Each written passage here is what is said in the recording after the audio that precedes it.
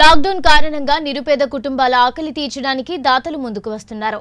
ఈ నేపథ్యంలో భాగంగా విజయనగరం జిల్లా గజపతి నగరం మండలం పురటిపెంట శ్రీ సాయిబాబా మందిరం దగ్గర శ్రీ షిరిడి సాయి భక్త మండలి సేవా సంఘం సభ్యుల ఆధ్వర్యంలో పేద ప్రజలకు భోజన సౌకర్యం కల్పించారు.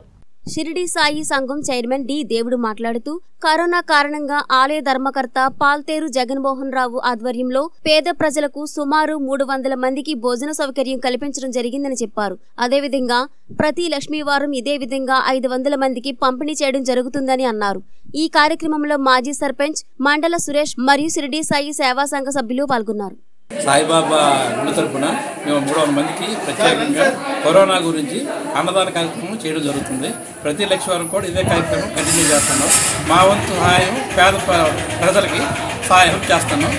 మా సాయిబాబా మందిరం నుంచి పాలితేరు జగన్మోహన్ రావు ధర్మకర్త ఆధ్వర్యంలో మేమందరం కూడా కలిపి కార్యక్రమానికి ముందుకొచ్చాం.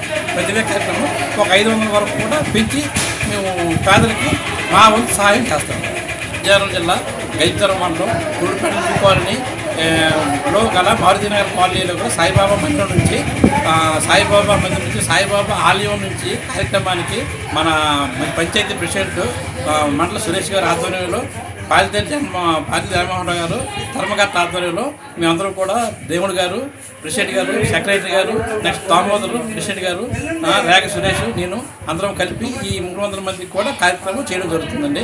ఇలాగే ప్రతి లక్ష వారం కూడా ఒక ఐదు వందల వరకు పెంచి మా వంతు సహాయం చేస్తాను.